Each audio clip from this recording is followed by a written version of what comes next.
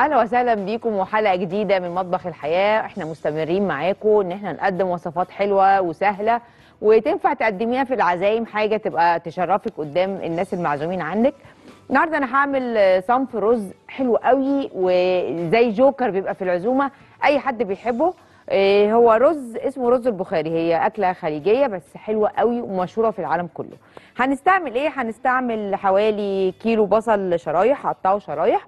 وهستعمل 3 أرباع كيلو جزر وهستعمل كوبايتين رز بسمتي ذهبي. ما ينفعش الأبيض معلقة صلصة ثلاث طماطميات مفرومين وهستعمل ثلاثة أو أربعة يعني حسب حجم الطماطمايه معلقة حبهان ومعلقة كبيرة بهارات مشكلة وملح وفلفل وطبعا زيت عشان أحمر بيه البصل. هستعمل صدور فراخ حوالي كيلو من كيلو لكيلو ونص. وهاجي اعمل إيه؟ خدي بالك ان طعم الرز ده بيجي من البهارات بتاعته وتشويحة الجزر. دي آه، أكلة تقليدية بس أنا عاملاها برضو بالطريقة بتاعتي أنا مش بالطريقة التقليدية العادية بتاعت السعوديين. البصل والجزر أنتوا شايفينه شايفين هو قد إيه كميته كتيرة وهتشوفوا لما احطه في ال- الطاسة عندي حجمه كتير. بفضل أقلبه لغاية لما يكش ويغمق. هوريكم هيبقى شكله إزاي. بسم الله الرحمن الرحيم. عشان كده أنا قبل رمضان لو أنا عندي مثلا ناس كتير أو هعمل منه كتير بعمل كمية وأحمرها وأحطها في الفريزر بحيث أطلعه ولو اتعمل البصل والجزر خلاص بقت سهلة بقيه حاجات الطريقة. أهو. مع زيت. ما بتحطلوش سمنة. وافضل أقلب فيه أوطي النار بقى بعدها وأقلب فيه وأنا رايحة وجاية في المطبخ. لغاية لما يبقى بالشكل ده هوريكم هيبقى شكله إزاي علشان نشتغل بيه.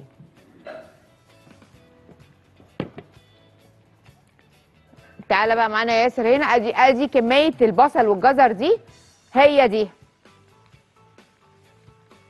شايفين؟ أحطها لكم في طبق عشان يبقى أبيض بيبان أكتر. أوكي.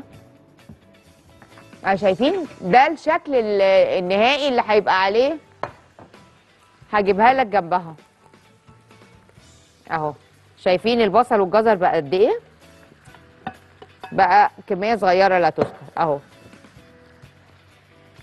بنفضل بنفضل نحرك فيه على نار هادية لغاية لما بيبقى عندي كده اهو. لونه بي... أيوه حلو قوي كده اهو. خلاص يبقى ده بنقعد نقلبه لغاية لما يبقى كده. هاجي أعمل إيه بقى؟ أنا هرجعه هنا في الحلة. سي دي طبعا الحلة اللي أنا حمرت فيها البصل والجزر أنا بس كنت عايزة اوريكم شكله. لأن هو ده اللي هيدي طعم مختلف للرز. خلاص دي هشيلها. هنشتغل على الجاهز. باجي. هحط طماطم. بسم الله الرحمن الرحيم. على البصل. والجزر طبعا. وهحط صلصة.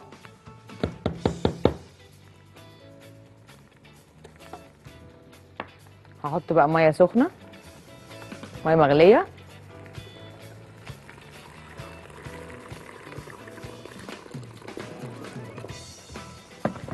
هحط حبهان مش كله وهقول لك ليه بعد كده.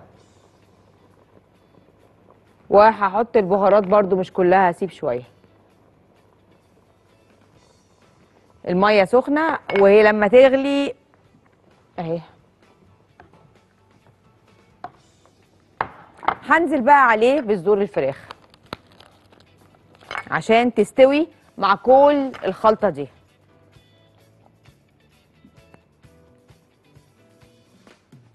هحط صدور الفراخ مع البصل والجزر والطماطم والصلصة والبهارات اللي أنا حطيتها.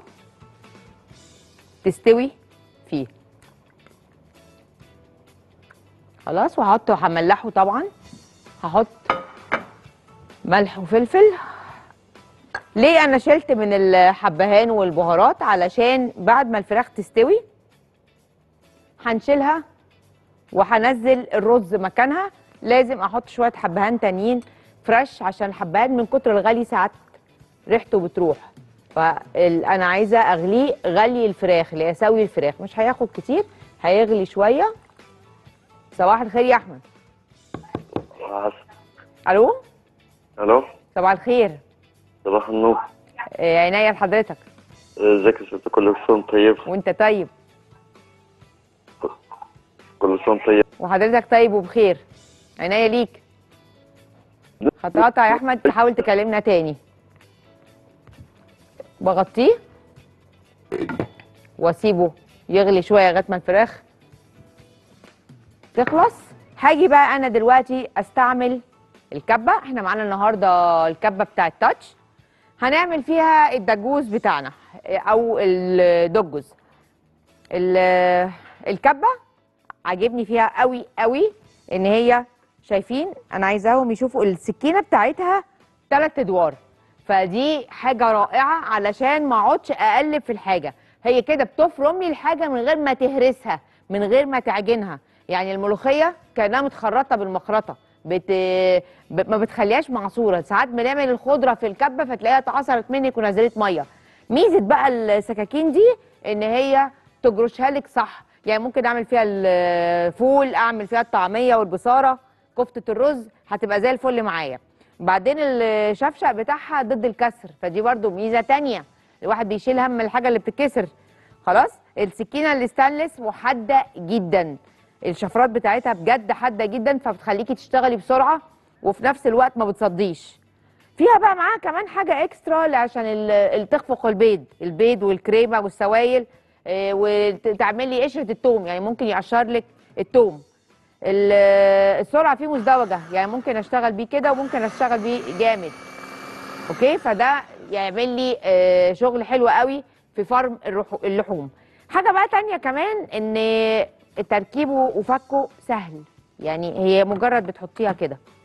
خلاص. وهنا اهو في آه، زي ايد كده بمسكها منها عشان اشيلها. فدي برضو احطها تاني. اهي. اهي. شايفين الايد دي؟ دي ممتازة بقى. إيه؟ لو انت بتشتغلي وايدك متزحلقة فيها زيت فيها حاجة مش هتتزحلق منك. هتشيليها كده اهو. تسنديها وتشيليها. وبرده دي ميزة أنا شايفاها ممتازة. بسم الله الرحمن الرحيم. المقادير. هستعمل حزمتين كزبرة خضراء حزمة آه، بقدونس ده الدجوز أو الدجوز أو السلطة بتاعة الرز البخاري. آه، هستعمل فيها آه، بصلاية فلفل حراق ممكن ثمره أو ثمرتين آه، فلفل حراق. طماطم هستعمل حبيتين أو ثلاثة وهستعمل خل وملح وزيت زيتون وعصير ليمون. خلاص؟ هاجي أستعملهم هفرمهم في الكبة علشان يبقوا قريبين. بيبقى شكلها قريب قوي كده من التبولة بس هي مش تبولة هي ده جوز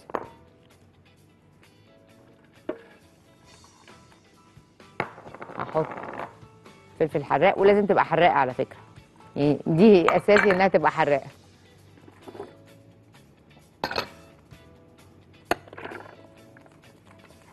ادي البصل. يا أسماء صباح الفل. كل سنة وأنت طيبة. انت طيبة يا شيف عاملة إيه؟ الحمد لله. تسلم إيديك على كل حاجة بتعملها. حبيبة قلبي كل سنة وأنت طيبة. رمضان كريم. الله أكرم. أنا بس كنت عايز أسألك على طريقة آه، عجينة القطايف. من عينيا الاثنين عملناها إحنا هنزل لك مقاديرها حالا وهقولها لك من تاني. عينيا الاثنين العفو حبيبة قلبي. القطايف عملناها إحنا امبارح تقريبا. آه حالا هن هننزلها لك على الشاشة. بصوا.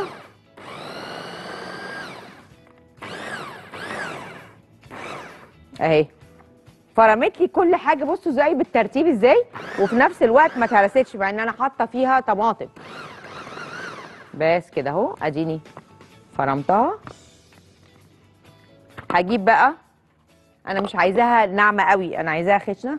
هجيب بوله واحطها فيها علشان اتبل. اهي السكينة.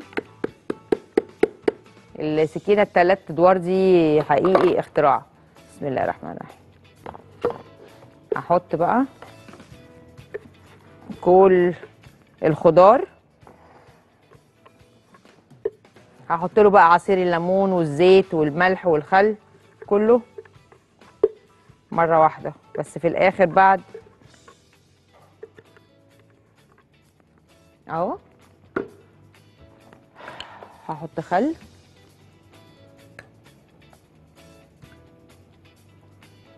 وهحط ملح.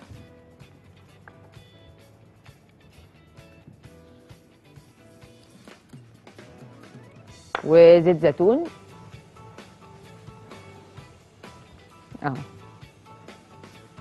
كله ده فرمناه بمفرمة آه، تاتش بالكبة بتاعت تاتش وبقلبه.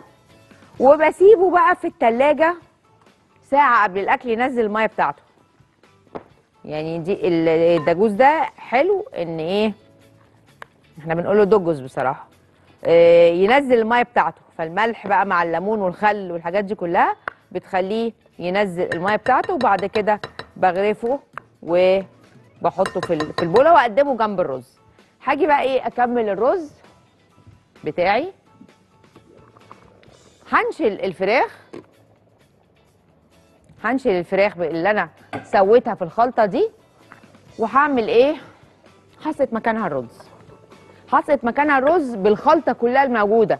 الجزر بقى والطماطم وكله.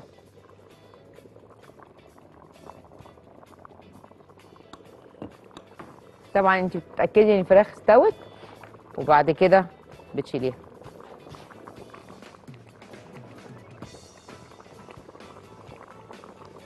بننشلها علشان تظبطي بقى ملح ال تظبطي ملح الرز اللي هي الصوص ده اللي هتحطي فيه ال- الرز.